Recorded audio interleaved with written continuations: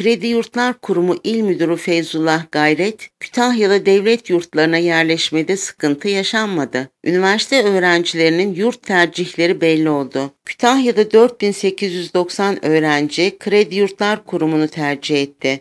Öğrencilerin merakla beklediği yurt tercih sonuçları açıklandı. Öğrenciler Kütahya'da devlet yurtlarına yerleşmede sıkıntı yaşamadı.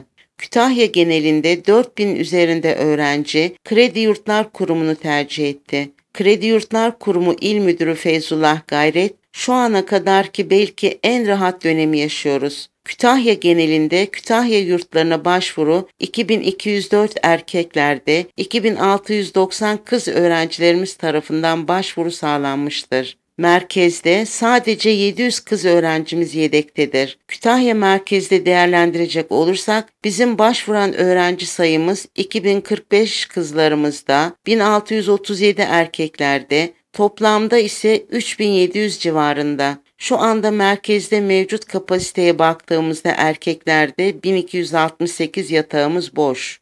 Kızlarımızda da 1306 yatağımız boş. İlçelerde de öğrenciler yurt konusunda sıkıntı yaşamayacak. En büyük ilçemiz Tavşanlı'da 270 kız, 270 erkek toplam 540 kapasitemiz vardır. Boş yatak erkeklerde 160, kızlarımızda 140'tır. Başvurulara baktığımızda erkeklerde 163, kızlarımızda ise 140 boş yatağımıza karşılık 70 başvuru vardır. Şapane ilçemiz en rahat ilçelerimizden biridir. Burada boş yatağımız erkeklerde 109, kızlarımızda 174'tür. Erkeklerimizde başvurumuz 39'dur. Kızlarımızda ise 87 başvuru vardır dedi.